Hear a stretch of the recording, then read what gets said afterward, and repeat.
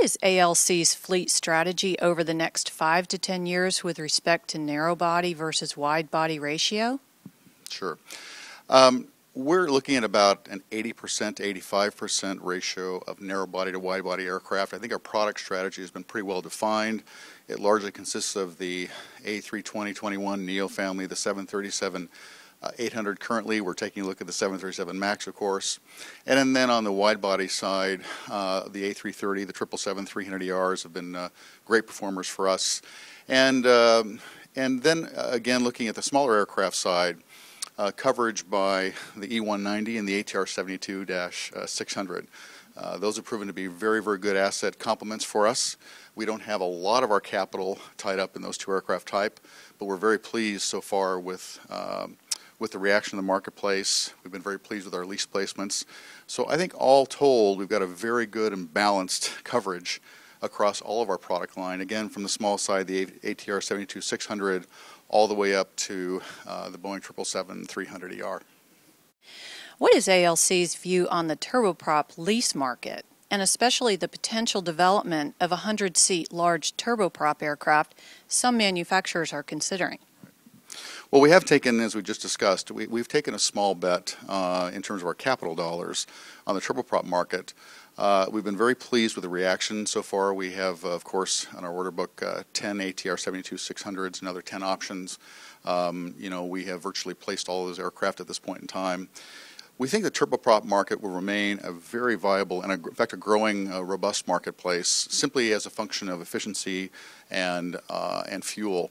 Uh, you know, a lot of these sector lengths less than 400 nautical miles, there simply just is no aircraft uh, other than uh, a modern turboprop such as the ATR 72-600 that can address this, this market space.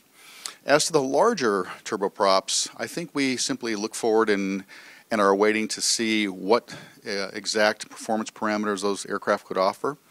Uh, actually, uh, we're, we're, kind of interested to see what the demand might be from the airline side. I think you can certainly make a justified economic case for the aircraft, again, because of the short sector lengths involved. So I think we are um, interested in seeing what those aircraft may have to offer.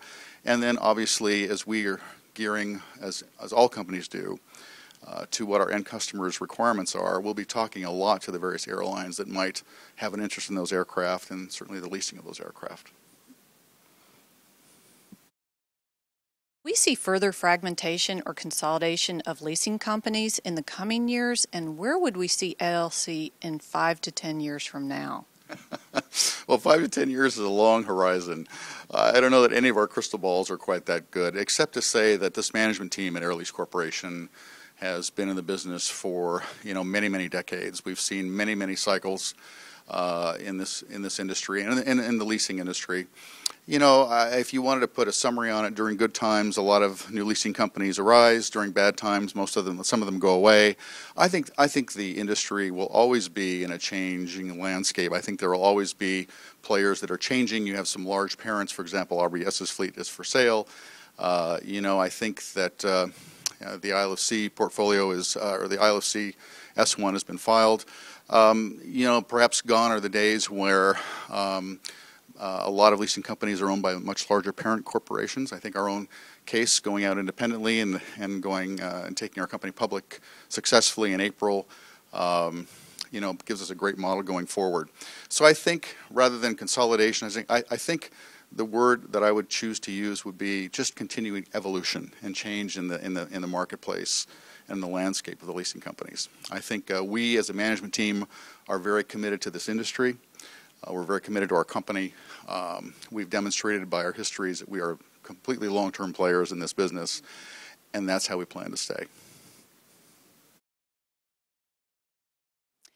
What will be the impact of the A320neo and the 737 MAX on the lease market and on future A320 737NG values? Well, that's a popular question many have asked recently. I think the simple fact of the matter is if you look in the near-term horizon, you know, the current generation of aircraft are going to be produced for quite a number of years, uh, at least meaningfully into the future. Um, beyond that, over the long, long term, the market decides uh, as to how heavily it's biased towards new aircraft products and how heavily uh, in the case of the uh, Airbus A320 NEO, the next engine option, how long that airplane will be uh, produced. So the truth is, it's really hard to have an exact crystal ball. But I think if you look at history, it was quite some time before the 737 Classics started eroding, eroding any in any measurable way against the 737 next generation. You know, some studies have been out there to suggest that it wasn't until the 737 next generation, in terms of its production, equaled almost half of the order base or the current um, delivered and installed base of 737 class- classics. I think, you know, looking forward, it'll probably happen a little more quickly than that. But I think the market ultimately will decide. And, um, you know, at Air Lease Corporation, our philosophy is to uh, build our model delivering brand new aircraft from the manufacturers. We tend to enjoy a very young aircraft fleet age, or about 3.6 years today is our average age. Um, and keeping our fleet young, I think, is a very um, fundamental part of our focus. So, for example, we take delivery of our last A320 in 2013, our last current generation A320. After that, we moved to the A321 Sharklets and the Neos. Um, and I think in the part of our model going forward, generally speaking, we enjoy aircraft in the first third of their useful life. So when an airplane is seven, eight, nine years of age, uh, it usually becomes a candidate for sale. That also helps us with any risks of product obsolescence or any sort of future developments on the negative side with uh, the current generation aircraft. Having said that, if you look over the next several years, we pretty firmly believe that the demand for new aircraft is going to exceed supply. And we think that bodes well for uh, at least current re- uh, lease rates, current residual values on the current aircraft, and we'll just have to see how it all evolves.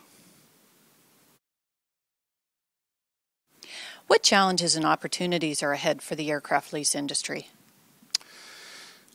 You know, I think if we take a broad view, um, the aircraft lease industry has had a very significant and probably the most rapid form of aircraft financing. Uh, you know, we're currently about a third of all aircraft being delivered are being delivered pursuant to a lease, to an operating lease. Uh, we firmly believe, and all indications are that number is going to grow quickly to about 40%. So when you think about it, it'll be pretty outstanding that roughly four out of 10 aircraft going forward will be delivered to the leasing community. Um, and I think that actually puts a greater responsibility on all of us in the leasing community. We as a management team have always believed in being very involved with the manufacturers in the next level of product design. We're very involved with Boeing on the 737 MAX. Uh, we've been involved with all the manufacturers and all their product development. I think it simply um, makes it more important for the leasing companies to have a larger and larger say in um, in product design, in in structuring the lease products to actually meet um, our customer requirements.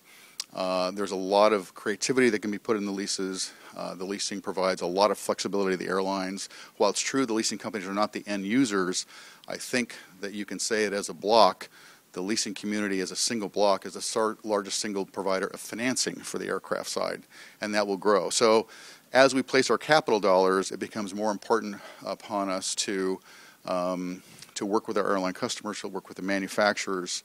Uh, you know, as the industry moves forward, uh, just to make sure that we are not only spending our capital wisely, we're getting a good return to our shareholders, but in fact that the products that we're putting out there, and I'm talking about the leasing products, more and more and more are attuned to the demand of our customers' requirements. And especially in an industry that's as volatile as the airline industry, I think it keeps us very focused and very sharply focused on on uh, how we can best provide our service to our customers, just like any business.